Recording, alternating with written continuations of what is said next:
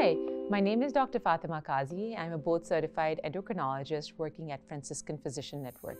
So I actually come from a family of physicians. So I think that is one field that I saw growing up, uh, to be in those shoes where you can be uh, of help to people in need. And so I think that's kind of just led my path into medicine and I've never looked back. My philosophy of care is really to empower my patients to take control of their own health uh, and you know to be a partner in their journey with me.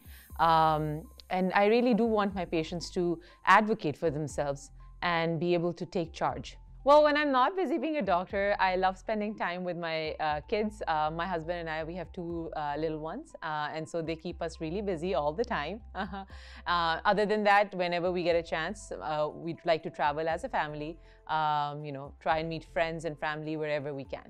So I think Franciscan Physician Network for me uh, gave me a really, really warm uh, feeling, something that I've been lucky to have through my residency and then followed up with my training as well uh, in fellowship.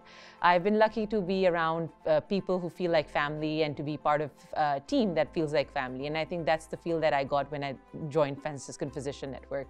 And so it was an instant, uh, a no-brainer for me uh, about where I wanted to be. I think for, for my patients, I do tell them to invest in themselves.